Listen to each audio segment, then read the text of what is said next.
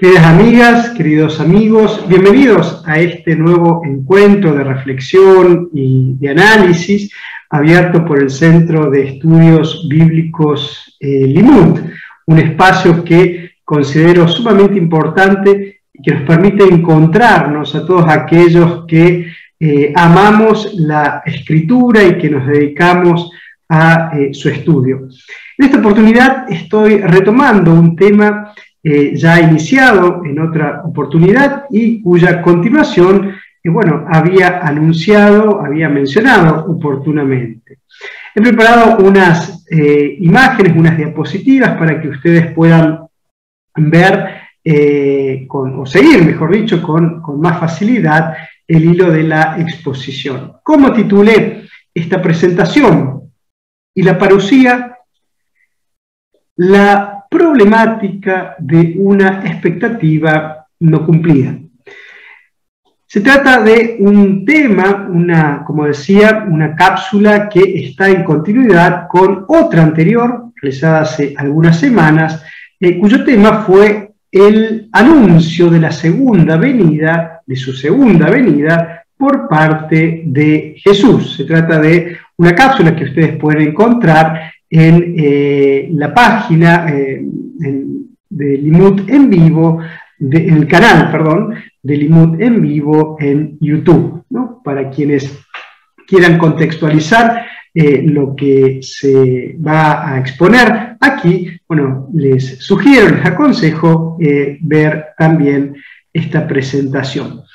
Y para comenzar tenemos que recordar que en el Nuevo Testamento eh, se atribuye esta idea de una segunda venida a Jesús. Dicho de otra manera, se pone en labios de Jesús el anuncio de un segundo retorno, incluso en varios textos vinculados a la figura del Hijo del Hombre.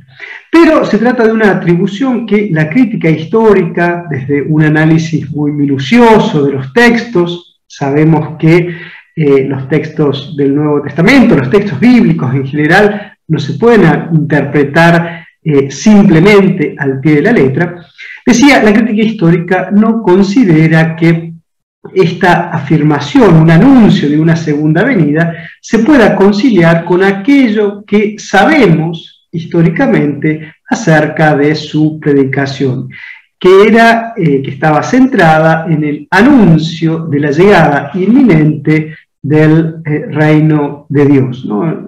no es susceptible de conciliar con la concepción escatológico-apocalíptica del Jesús histórico. Y aquí nos encontramos, desde mi punto de vista, en un punto central, medular, eh, para conocer la figura de Jesús, para poder acercarnos a, eh, en un bosquejo, tal como hace la, reconstrucción histórica, es importante eh, señalar que lo debemos entender en el contexto de las ideas, de la situación política, de la situación social, cultural, teológica del primer siglo. Una situación, un contexto en el cual eh, nos encontramos con, de diversas maneras, con expectativas, con esperanzas de una intervención divina a favor de su pueblo, pero en un futuro cercano, previsible, en un futuro que está eh, a las puertas. ¿no? Esta, eh, diríamos así, este marco teológico eh, lo podemos encontrar cuando nosotros abrimos nuestra, eh, eh, nuestra perspectiva y consideramos ideas de la literatura apocalíptica, los escritos del Mar Muerto o diversas obras intertestamentarias. Es decir, cuando nosotros queremos entender el mundo del Nuevo Testamento, no podemos limitarnos a sus páginas. Eh, para entender el Nuevo Testamento es necesario, podríamos decir así, ampliar la biblioteca con todas aquellas herramientas de las que hoy disponemos de una manera especial. ¿no? Si alguien quiere asomarse, por ejemplo, a, algo de lo que estoy diciendo, puede consultar esta obra que estoy citando allí eh, al final de esta diapositiva. Si bien eh, podemos disentir en varias cosas con este autor, pero sin embargo eh, aquí hay una, primera presentación importante. Ya voy a decir por qué cito a este autor, ya lo voy a, mencionar, pero quería dejarles también para todos aquellos que quieran asomarse a este mundo esta referencia. Dicho de otra manera, no podemos descontextualizar la figura de Jesús. El anuncio de la inminencia del reino o del reinado de Dios es clave para comprender la figura de Jesús. Pero también este concepto, reino, reinado de Dios, en griego basileia tuceu, suele ser interpretado o de hecho ha sido interpretado desde otras categorías, desde, otras, eh, desde otros presupuestos que no son los del contexto histórico propio. Un contexto, repito, marcado por expectativas pluriformes, expectativas marcadas por ideas apocalípticas. Eh, y desde ese, desde ese punto de vista, interpretarlo con otras categorías conlleva necesariamente eh, la dificultad para interpretar adecuadamente la figura de Jesús. Querría aquí poner simplemente un ejemplo entre tantos otros posibles de un libro eh, bueno, muy apreciado, especialmente en, algunos ámbitos, que se llama Jesús de Nazaret, del teólogo Joseph Ratzinger. Repito, podría citar eh, otros textos. Tomo este porque tiene formulaciones muy claras en este sentido, este sentido que estoy criticando, del cual me estoy distanciando. Eh, creo que eh, esta obra, en estas páginas de, de, mucha difusión, se puede dar un ejemplo muy claro de cómo una interpretación desprovista del contexto histórico propio eh, del primer siglo lleva a, eh, consecuencias eh, que de alguna manera repercuten grandemente en la manera de comprender la figura de Jesús.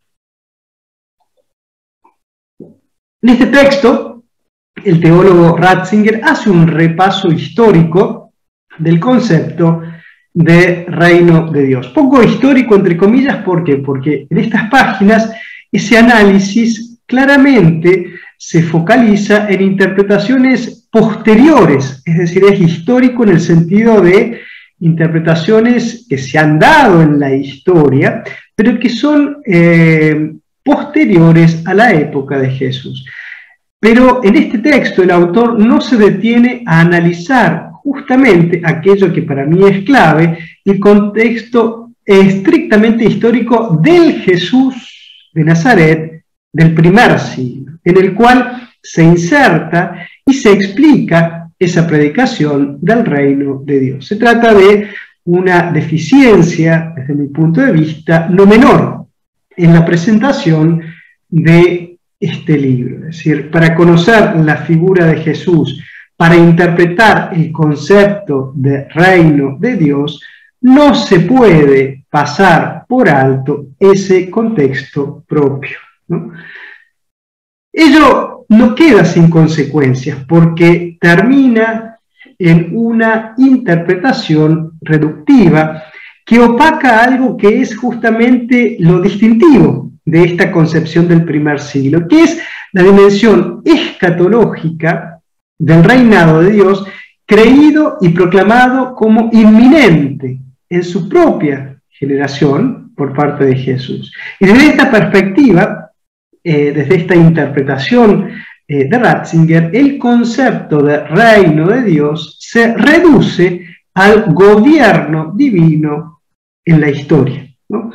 Eh, ello puede verse en una formulación sintética que hace este autor y que me parece interesante compartirla con cada uno de, de, ustedes. Vamos a ver, vamos a ver qué dice en su libro, en este bestseller, eh, este teólogo significativo.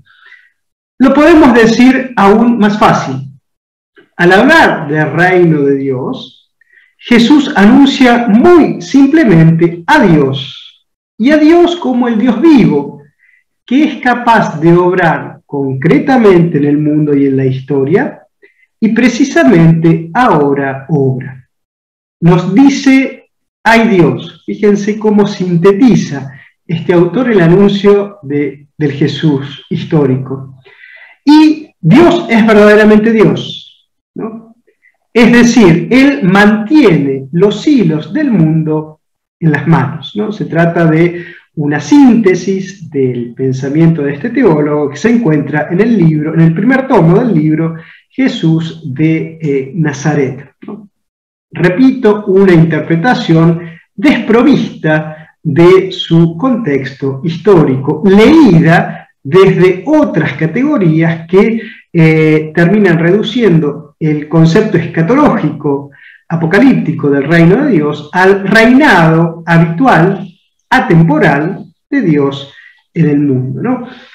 Y no se puede hablar del reino de Dios sin familiarizarse, sin estudiar, sin analizar, sin ampliar la biblioteca con todo este mundo de la apocalíptica judía y de su literatura. ¿no? Existen muchísimas publicaciones, no solamente de, los textos eh, intertestamentarios, sino también estudios eh, justamente de autores que eh, nos analizan. ¿no?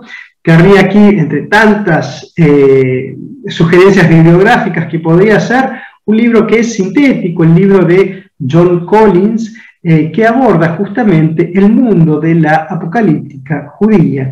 En ese contexto ubica también no solamente los escritos, sino eh, además la eh, predicación de Jesús de Nazaret. Podría mencionar otros, más, este libro que aparece aquí eh, hubiese sido imprescindible que lo tuviese en cuenta este autor del cual me estoy distanciando. ¿Qué pasa con esto? Se lee un concepto determinado con otras lentes. ¿no? en el caso de, del teólogo Ratzinger, yo diría, las está leyendo desde lentes marcadas por su familiaridad con los escritos de Agustín de Hipona, San Agustín, u otro de sus grandes maestros, eh, San eh, Buenaventura. Es decir, está proyectándole a un concepto del siglo I otras categorías. Técnicamente, podemos decirlo con claridad, un anacronismo. En ese sentido, querría mostrar cómo las posturas de los especialistas se encuentran en otra dirección. Eh. Sanders, si bien sus escritos ya tienen varios años, eh, creo que son obras de referencia, afirma que el reino de Dios en la enseñanza de Jesús no es meramente su habilidad para determinar en última instancia el curso de la historia, como así tampoco su señorío en el cielo. No es su gobierno habitual. En ese sentido, también eh, autores como Tyson y, Mertz eh, sostienen que el anuncio del reino de Dios por parte de Jesús no se puede comprender en términos de aseveraciones atemporales sobre la soberanía de Dios. Y una conclusión se impone. Cualquier reconstrucción del Jesús histórico que no haga plena justicia a ese futuro escatológico debe ser desestimada como irremediablemente inadecuada. Desconocer el contenido, el alcance históricamente situado del anuncio del reino de Dios es desconocer, desfigurar la persona de Jesús de Nazaret. Es maquillarlo teológicamente con otras perspectivas que no son las propias de su época. Hasta allí una afirmación que de alguna manera eh, quiere eh, apoyar lo anterior dicho en la cápsula mencionada. Pero ahora queremos zambullirnos en otra cuestión, vinculada, pero desde eh, otra perspectiva, y que es la problemática que aparece en el Nuevo Testamento, repito, cuando lo analizamos críticamente con todas las herramientas científicas de las que hoy disponemos. Otra problemática que se asoma y que es la em, preocupación justamente por esta expectativa no cumplida. En primer lugar, asistimos a lo que yo llamaría una metamorfosis. En diversos textos del Nuevo Testamento podemos encontrar indicios. ¿Una metamorfosis de qué? ¿Un cambio, una transformación de qué? A la espera inminente de la llegada del reino de Dios, anunciada por el Jesús histórico, sucede otra expectativa que está en continuidad, pero ahora cristológicamente marcada, que es la venida de ese reino, pero focalizada en la venida o en el retorno inminente del Cristo glorioso, creído y anunciado por sus seguidores. Hay un paso de la predicación de Jesús, de la inminencia del reino, eh, que nos eh, eh, lleva a la idea de un reino marcado por su retorno. Repito, en eh, una continuidad de ideas. Aquí cito algunas palabras de dos grandes especialistas, Adriana Destro y Mauro Pelle, eh, quienes sostienen que cuando Jesús muere sin que ese reino se hubiese hecho presente, eh, sus discípulos creyeron que él regresaría una segunda vez para instaurarlo. Aquí podemos tener un indicio de la evolución, de la mutación de las eh, concepciones. ¿no? Repito, estoy simplemente haciendo afirmaciones eh, que están fundamentadas en análisis muy, muy minuciosos. Aquí solamente tengo la posibilidad de mencionarlas brevemente y no de tratarlas eh, de manera exhaustiva. Em, pero sí nos encontramos con un fenómeno, repito, que podemos encontrar cuando analizamos los textos críticamente. Una metamorfosis de, esta, eh, de estas concepciones, pero dentro de una continuidad de cosmovisión escatológico apocalíptica. Aquí nuevamente el texto de Collins o algunos textos de Sanders pueden eh, ser de utilidad para ver esta eh, continuidad. El texto más claro en este sentido, es decir, eh, en el sentido de una expectativa de un retorno inminente de, del Jesús glorioso, lo encontramos en la primera carta de Pablo a los creyentes de Tesalónica. Es el primer escrito del Nuevo Testamento, o el primero que nos ha llegado, eh, redactado en torno a los años 50. Cuando nosotros leemos ese texto, podemos ver que la expectativa paulina de un regreso inminente, no prolongado en el tiempo o dilatado al paso de los siglos, sino inminente, es meridianamente claro. Yo los invito a que en algún momento puedan leer toda la carta con detenimiento y poder constatar eh, justamente esto que estamos diciendo. Aquí solamente nos vamos a limitar a leer eh, un pasaje sumamente importante, eh, que lo encontramos en el capítulo 4. ¿Qué dice Pablo? Hermanos, no queremos que estén en la ignorancia respecto de los que duermen, para que no se entristezcan como los demás que no tienen esperanza. Porque si creemos que Jesús murió y que resucitó, de la misma manera, Dios llevará con él a quienes murieron en Jesús. Con esta afirmación se abre la respuesta de Pablo a una problemática. ¿Cuál era esa problemática? Esperamos la venida inminente de Jesús, el retorno, la parucía, pero algunos han muerto antes de que se verifique esa llegada. ¿Qué va a pasar con ellos? Eh, han perdido la posibilidad de, la salvación. Estamos esperándola de un momento a otro, pero hay, hay quienes han muerto antes de que se verifique ese acontecimiento. ¿Qué responde Pablo? Les decimos esto como palabra del Señor, la autoridad que le atribuye a esta enseñanza. Nosotros, geméis, los que vivimos, horizontes, los vivientes, podríamos decir también, los que quedemos hasta la venida, aquí se introduce la palabra técnica, parucía, eh, los que quedemos hasta la parucía del Señor, no nos adelantaremos a los que murieron, es decir, la preocupación de sus destinatarios, de qué pasaría con aquellos que no habrían llegado a ver la venida, eh, no está justificada. ¿Por qué? Porque el mismo Jesús bajará del cielo con clamor, en voz de arcángel y trompeta de Dios, y los muertos en Cristo resucitarán en primer lugar. Es decir, en el momento de la parucía, aquellos que murieron van a resucitar.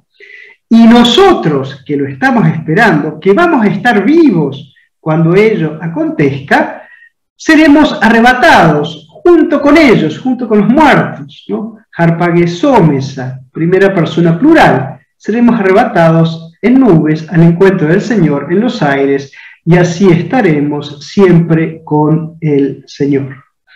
En esta carta se puede ver cómo, eh, al menos en, eh, podríamos decir así, en los momentos, eh, en los inicios del pensamiento paulino, esta expectativa está claramente presente, es una expectativa inminente. Hay otros textos en la carta a los Corintios, por ejemplo, donde también se refuerza claramente esta idea. El tiempo está cerca. Pero el Nuevo Testamento refleja también la problemática generada por el no cumplimiento de la venida inminente de Jesús, tal como había sido creído, entendido, predicado en los años posteriores a la muerte eh, de Jesús y desde la convicción en su resurrección. Esta esperanza que Pablo da por supuesta, evidentemente no se cumple. Bueno, ello genera una problemática. Y en el Nuevo Testamento aparecen diversos indicios de respuesta a esa problemática, ¿no? Así como la muerte de Jesús, inesperada, escandalosa, contraria a las expectativas del mismo Jesús, eh, tuvo que ser interpretada teológicamente. Y en el Nuevo Testamento hay diversas interpretaciones de ese acontecimiento escandaloso, también de manera análoga, la no llegada del reino de Dios anunciado por Jesús y el no cumplimiento de la parucía, el retorno de Jesús como juez escatológico, necesitó de explicaciones, ¿no? necesitó de respuestas. Nosotros aquí, repito, no puedo hacer un análisis minucioso, simplemente mencionar con algún comentario los textos en cuestión.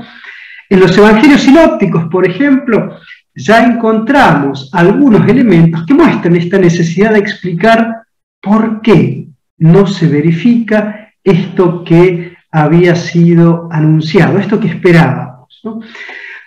Un primer ejemplo, brevemente mencionado, el capítulo 13 de Marcos, el así llamado discurso escatológico o el pequeño apocalipsis de Marcos. Un texto claramente marcado por la idea de un retorno inminente del Hijo del Hombre, pero sin embargo un texto en el cual aparecen algunos eh, elementos que postergan, que prorrogan ese tiempo final, introducen un entretiempo más extenso.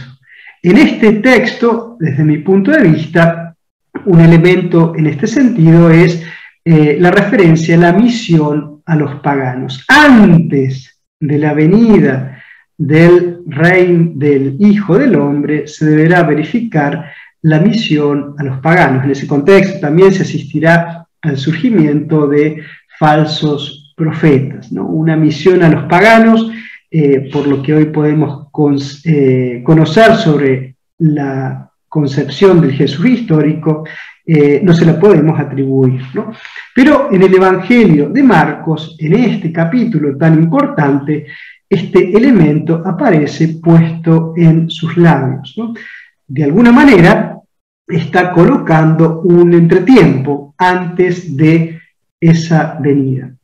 Pero mucho más claro, mucho más elaborado, de alguna forma podríamos decir, es la presentación que hace Mateo de ese discurso. Nosotros recordamos, eh, Mateo usa a Marcos como fuente, pero no simplemente lo, no lo reproduce simplemente, sino que además lo relabora. Y aquí nosotros podemos encontrar un claro indicio de una reelaboración que va en la línea que estoy presentando, en la línea de retrasar o de explicar o de alguna manera alertar sobre esta demora de la venida de Jesús. Eh, esta reelaboración de Mateo, del material de Marcos, lo vemos, por ejemplo, en la introducción de la palabra parusía, una eh, expresión, repito, técnica, eh, que no aparece en el Evangelio de Marcos en su fuente. ¿no? Si ustedes comparan la pregunta de los discípulos a Jesús en la versión de Marcos con la pregunta de los discípulos en la versión de Mateo, van a ver que hay una eh, mejor formulación. Y repito, eh, se introduce aquí la palabra más técnica, parusía. ¿no? Pero eh, esta, esta reelaboración también se puede ver en otro elemento, en el hecho de que Mateo amplía ese discurso. Y no lo amplía con un par de palabras, sino lo amplía considerablemente. Yo les pediría que ustedes tomen el Evangelio de Marcos en el capítulo 13, cuenten la cantidad de versículos y luego lo comparen con la versión que ofrece Mateo. Vamos a ver que triplica el discurso de Jesús. Se trata claramente de una ampliación del material eh, encontrado en su fuente Marcos. Bueno, aquí pongo las citas, ustedes pueden verlo, repito, triplica el material, es decir, pone en labios de Jesús mucho más de aquello que ha tomado eh, del Evangelio de Marcos, algo que por allí puede eh, sorprender a algunos, pero desde la exégesis científica sabemos que las intervenciones redaccionales de un autor eh, son siempre una, eh, una realidad. ¿no? Es decir, no reproducen eh, textualmente o, literalmente un discurso determinado. Pero lo que podría decir aquí es que no solamente lo, lo retoca, introducción de la palabra parusía y mejor formulación de la pregunta, no solamente lo amplía, ¿no? Lo triplica, sino que además lo amplía en un sentido muy, muy particular. ¿no? Lo hace introduciendo dentro de todo ese material también parábolas que aluden claramente al retraso de la venida del Señor. Por ejemplo, la parábola del mayordomo, una parábola en la cual el, el siervo eh, está llamado a eh, comportarse adecuadamente y justamente se descalifica la eh, actitud de aquel siervo que dice, mi señor tarda, entonces me desentiendo de mis obligaciones. o la parábola de las vírgenes necias y de las prudentes. ¿Qué es lo que plantean? Que se plantea en esta parábola? Justamente la tardanza, la demora del esposo. Y el mensaje es claro, hay que seguir esperando, hay que esperar en vela. Si son intentos de alguna manera de mantener viva la esperanza a pesar de que esta parucía se deja esperar. Repito, reelabora el material desde una intencionalidad eh, teológica muy, muy clara. Y en el caso del eh, tercer eh, evangelista, aquí bueno, voy a poner un texto del libro de los Hechos de los Apóstoles, un texto, diríamos así, del corpus lucano, no voy a entrar en la cuestión acerca de la identidad o no del autor entre Lucas y Hechos, sino que he elegido este texto porque es, desde mi punto de vista, sumamente claro.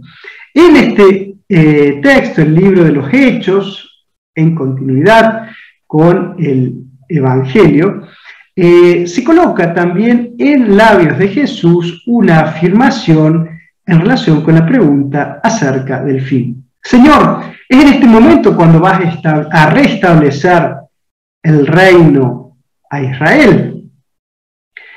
A esa pregunta, a esa preocupación, eh, el Jesús resucitado en el libro de los Hechos responde de manera evasiva, podríamos decir así. No es cosa vuestra conocer el tiempo y el momento que el Padre ha fijado con su propia autoridad. Del anuncio inminente de Jesús, aquí encontramos palabras que de alguna manera diluyen la cuestión. Claramente se ha colocado una distancia entre la inminencia del reino y del juicio y la restauración de Israel que queda en un segundo plano. Mientras que antes los discípulos debían sacudirse hasta el polvo de los pies en las ciudades que no los recibían como testimonio para el día del juicio inminente. Recordemos algunos pasajes eh, de los evangelios. Ahora en lugar de ese, eh, juicio inminente, eh, tendrán que ser testigos en Jerusalén, en Judea, en Samaria, hasta los confines de la tierra. Eh, la dimensión temporal se amplía considerablemente. Es el tiempo de la iglesia. Y queda la pregunta acerca de la parucía en un segundo plano, queda dilatada claramente. ¿no? Pero tenemos otro texto que puede ser eh, muy, muy interesante, eh, que lo encontramos en la segunda carta a los tesalonicenses. Se trata de una carta que eh, muchos especialistas consideran que es pseudoepigráfica, es decir, una carta que aunque tenga el nombre de Pablo, sin embargo, ha sido escrita posteriormente eh, a, su muerte. ¿no? Una carta que, por diversos elementos, eh, teología, formulación, eh, etcétera, no pueden atribuirse la figura del Pablo histórico.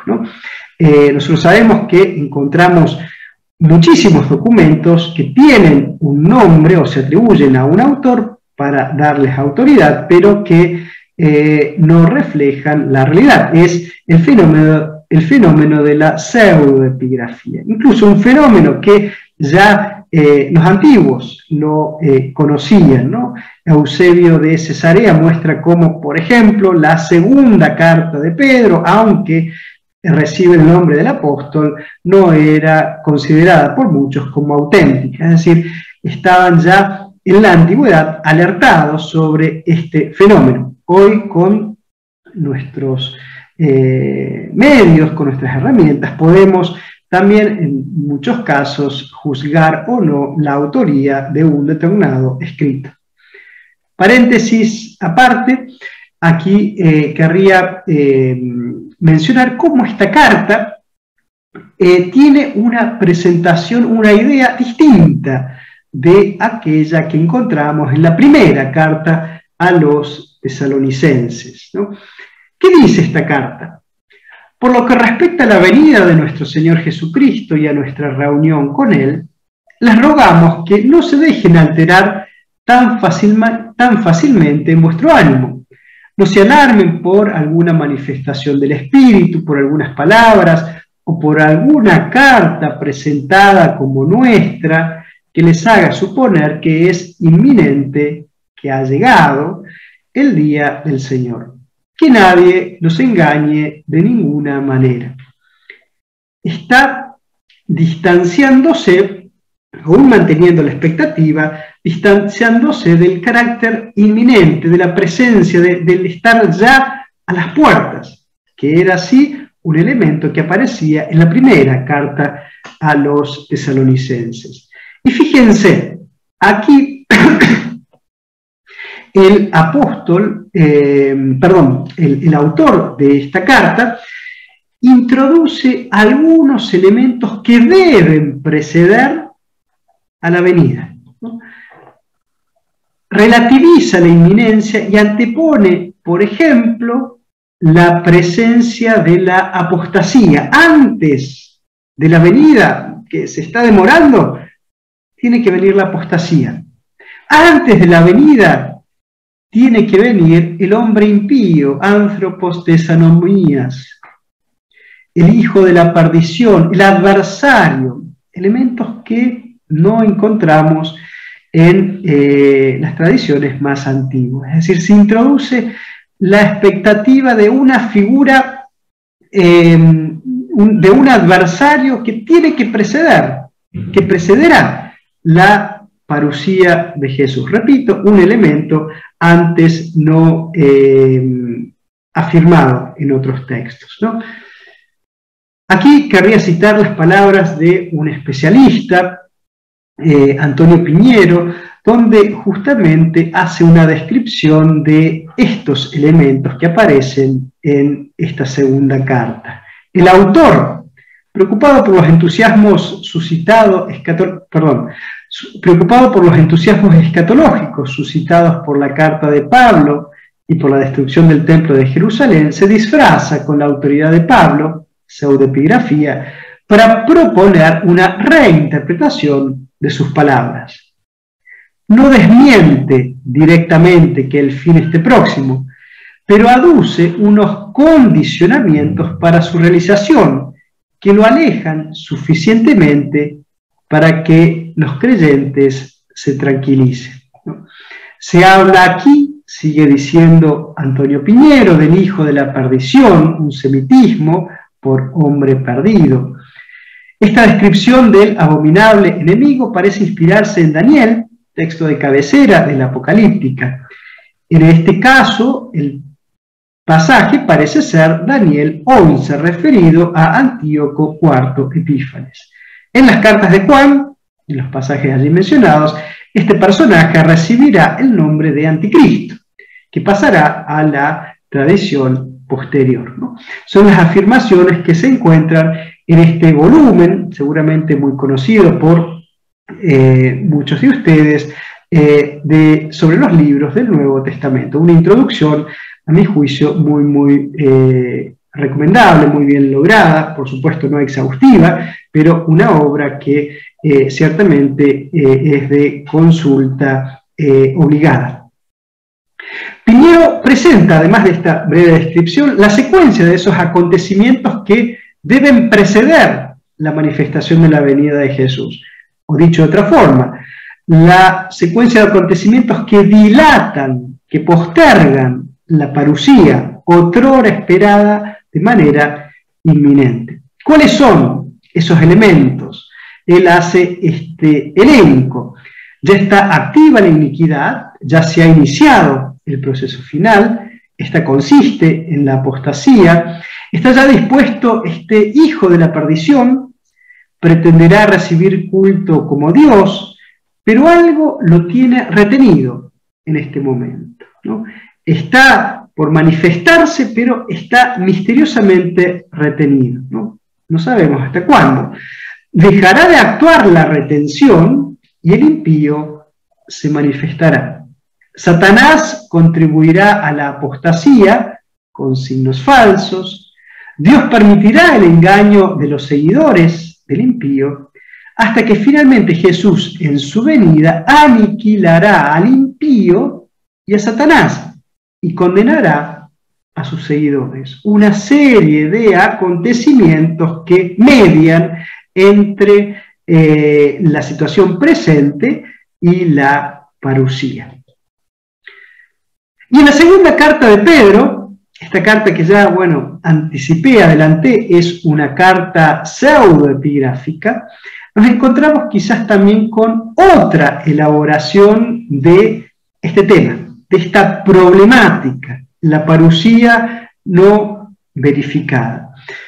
Es uno de los textos eh, del Nuevo Testamento más tardíos, si no el más tardío, como dije recién, un texto pseudoepigráfico, ya lo decía Eusebio de, Cesarea, escrito probablemente en el siglo II, a inicios del siglo II. Eh, y aquí el autor elabora el problema, yo diría de manera inteligente, entre comillas, hace una exégesis eh, para responder a esta situación frente a la problemática claramente formulada. Desde mi punto de vista, en este texto se refleja eh, la problemática ya con todas las letras, que es el escepticismo justamente causado por la no venida. Eh, un escepticismo que no es solamente de los creyentes, sino eh, además, podríamos decir así, es objeto de, de detractación, es decir, por aquellos que eh, se burlan de esta esperanza. Podríamos decir así, en esta carta el escepticismo y la burla por el no cumplimiento de la eh, expectativa es clara. Pangeliates autu. Una formulación clarísima de la carta. ¿Dónde está la promesa de la venida de él? ¿no? El texto sigue diciendo, aquí lo puedo citar más eh, extensamente, eh, sepan ante todo que en los últimos días vendrán hombres llenos de sarcasmo, detractores, guiados por sus propias pasiones, que dirán en son de burla, ¿dónde queda la promesa de su venida? La formulación, la pregunta anteriormente citada. Pues desde que murieron los padres, está haciendo referencia justamente a la muerte de la, primera generación, de los primeros eh, discípulos, todo sigue como al principio de la creación. Claramente la problemática de la parusía, perdón, del no cumplimiento de la parusía está formulada. Murieron los anunciaron. ¿Y qué pasó? Está todo igual. ¿Dónde quedó la promesa de la parucía? Dicho de otra forma, la promesa anunciada no se cumplió. Pero aquí el autor hace una exégesis justamente de un texto bíblico para eh, responder a esta eh, objeción. Claramente la objeción está presente. Ellos ignoran intencionadamente que hace tiempo existieron unos cielos y también una tierra surgida del agua y establecida entre las aguas por la palabra de Dios, y que por esto el mundo de entonces pereció por las aguas del diluvio, y que los cielos y la tierra presentes por esa misma palabra están reservados para el fuego y guardados hasta el día del juicio y de la destrucción de los impíos. Primera respuesta, va a acontecer. ¿no? se puede desconocer que estos cielos y esta tierra están, eh, están eh, destinadas a ser eh, objeto del, juicio. Mas una cosa no pueden ignorar, que ante el Señor un día es como mil años y mil años como un día. Alude al Salmo 90, en la cual se eh, afirma esta soberanía de Dios sobre, sobre el tiempo, y ese salmo se lo utiliza para explicar esta problemática. No se retrasa el Señor en el cumplimiento de la promesa, como algunos lo suponen, problemática explícitamente formulada, sino que usa de paciencia con ustedes, no queriendo que algunos perezcan, sino que todos lleguen a la conversión. La inminencia ahora se dé paso a la explicación dada por eh, el deseo eh, de, Dios de que todos lleguen a la conversión. ¿no? Eh, en realidad no es que Dios no cumpla la promesa, es paciente. Evidentemente es una respuesta que está totalmente en las antípodas de aquella expectativa de Pablo. Va a venir los que vivimos horizontes. Aquí encontramos, yo diría, una clara respuesta exegética a una problemática real. El Señor llegará como el ladrón en el día, eh, en aquel día los cielos con ruido ensordecedor se desharán, los elementos abrazados se disolverán y la tierra y cuanto ella encierra se consumirá. La paciencia de nuestro Señor, juzguenla como salvación. Evidentemente, una respuesta que seguramente no convenció a muchos, como tampoco a nosotros nos permitiría eh, explicar esta problemática. En síntesis, de la inminencia del reino anunciado por Jesús, algunos de esta generación no morirán hasta ver venir, hasta ver llegar al reino, una inminencia mantenida por Pablo, por ejemplo, en los años 50, no nos adelantaremos a los que ya murieron, se asiste progresivamente a una dilación cada vez más marcada. Tiene que anunciarse antes el Evangelio de los paganos, Marcos. Hay que estar en vela durante la tardanza, el esposo demora, pero va a venir. Hay que estar con la lámpara encendida. No es ahora, no toca a los creyentes saber el tiempo establecido por Dios, la explicación de hechos.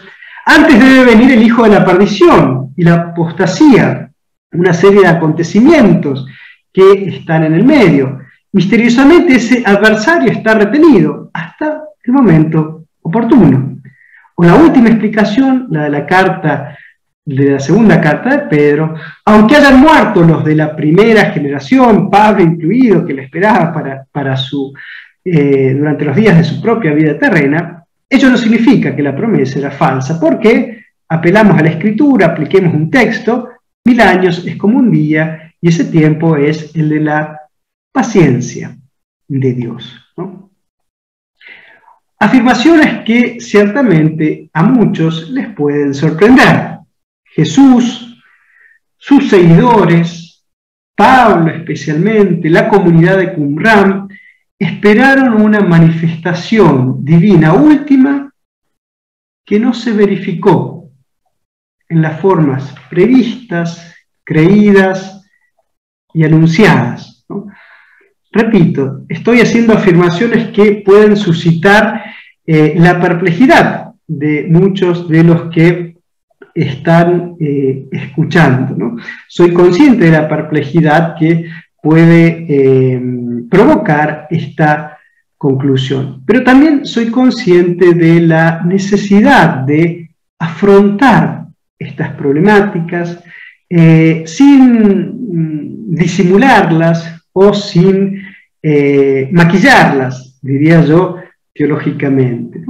Y en ese sentido, querría culminar con la cita de ese autor que cité al comienzo, este autor James Dunn, eh, porque es un investigador creyente. Repito, no puedo estar de acuerdo en todo lo que sostiene, pero en este punto me parece importante eh, retomar su conclusión.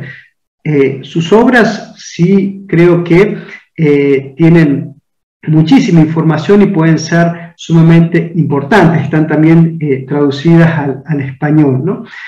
Este investigador, siendo un investigador creyente, reconoce con honestidad esto que acabo de mencionar. Tales estudios, es decir, aquellos que eh, han sido eh, realizados por eh, exégetas de diversas orientaciones, tales estudios han encontrado imposible negar que Jesús haya que Jesús había expresado convencimiento de que iban a ocurrir de manera inminente sucesos que luego no se produjeron. Lo cual significa también que Jesús había abrigado esperanzas que no se cumplieron. En sus previsiones había elementos no realizados luego. Por decirlo sin rodeos, el curso de los acontecimientos demostró que Jesús se había equivocado. Tampoco yo, dice James Dunn, voy a rechazar tal conclusión, amparándose o, siguiendo la, la exposición de estos estudios citados. No creo que se pueda obviar fácilmente que Jesús esperaba la venida del reino con efectos finales que no acontecieron.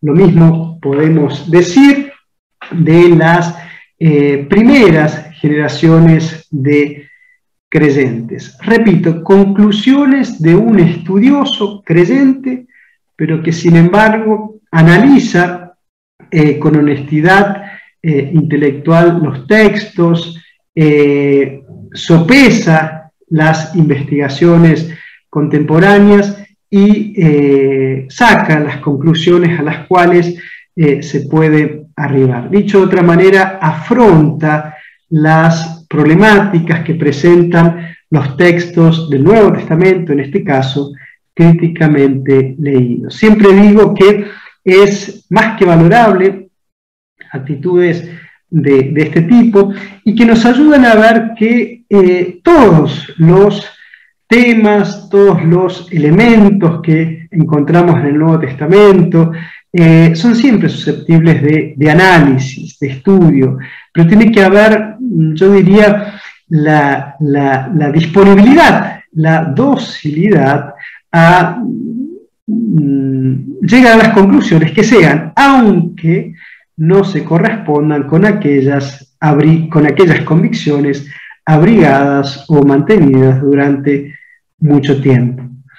Las problemáticas que plantean los textos, críticamente analizados, no se pueden eh, ocultar, no se pueden disimular, tampoco maquillar teológicamente, sino afrontar, analizar. Esto creo que es justamente el mayor servicio que ofrece la exégesis científica, un aporte al conocimiento. Y siempre el conocimiento es un enriquecimiento, aunque quizás en algún momento pueda eh, provocarnos perplejidades. Un conocimiento que siempre tiene que ser bienvenido, cultivado, promocionado. Por supuesto, hay otras interpretaciones, cada uno de ustedes puede eh, seguir estudiando la cuestión, siempre me gusta repetir que no se deben quedar ni siquiera con lo que dice tal o cual autor, tal o cual experto, mucho menos con lo que pueda haber dicho yo. Pero sí siempre pido que esa, eh, que el espíritu de investigación, el espíritu, la inquietud por conocer, por llegar a fondo, por confrontar, tiene que estar eh, presente. Es la condición imprescindible de una persona que quiere estar a la altura de los conocimientos actuales. Yo no tengo otra cosa más que agradecerles la paciencia, agradecerles la atención y esperar que nos encontremos en alguna próxima exposición. Muchas gracias y hasta la próxima.